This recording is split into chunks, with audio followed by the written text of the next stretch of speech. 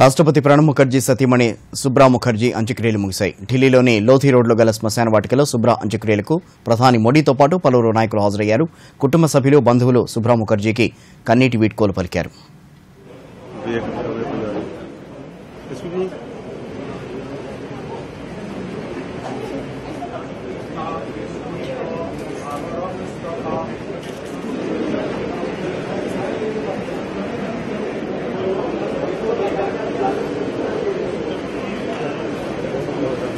போராடி போராடி